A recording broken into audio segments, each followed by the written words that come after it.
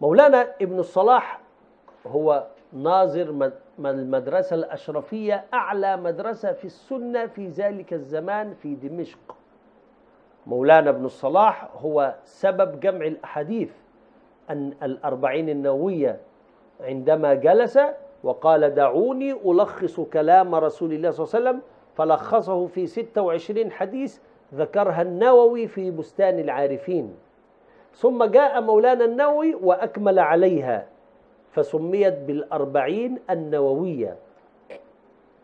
أنا أكرر مولانا ابن الصلاح المنتقل سنة 643 هجرية هو كان في زمانه عالم السنة الأوحد وكان لا يتولى رئاسة المدرسة الأشرفية إلا عالم السنة في زمانه فتولاها ابن الصلاح.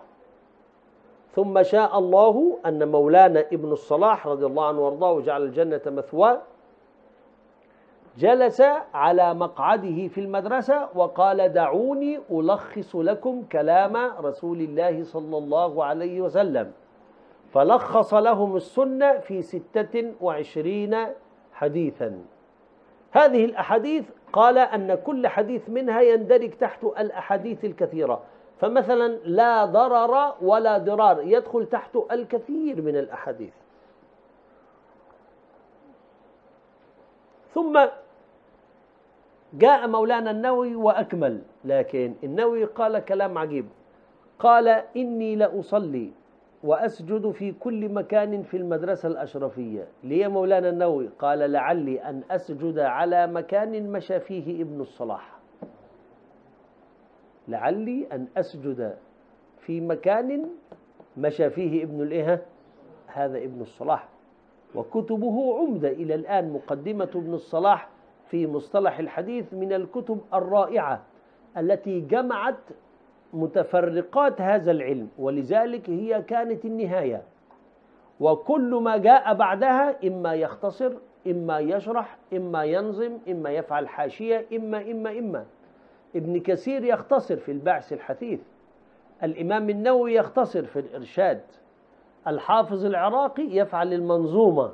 الفيت العراقي فينها في مصطلح في مصطلح الحديث. آه، زكريا الأنصاري يشرح فتح الباقي. شرح ألفية العراقي وهي مصطلح الحديث. مولانا السخاوي أجمل من شرح هذه هذه المنظومة.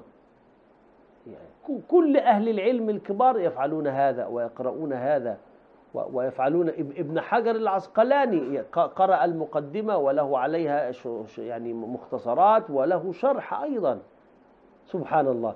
كأن الله كان راض عن هذا الرجل فكتب له القبول في فروع العلم الكثير.